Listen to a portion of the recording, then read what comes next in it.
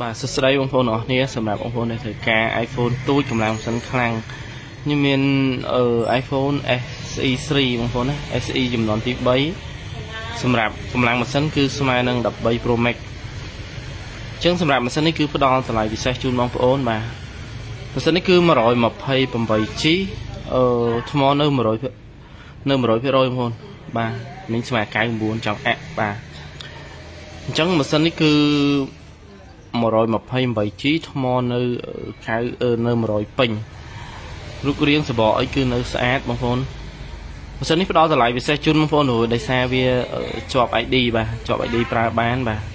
ជាប់ ID ប្រើបានអញ្ចឹងបងប្អូនដែលមានតម្រូវការម៉ាស៊ីនមួយគ្រឿងនេះអាចតាក់ទងមកបានបាទមានមួយគ្រឿងទេអរគុណ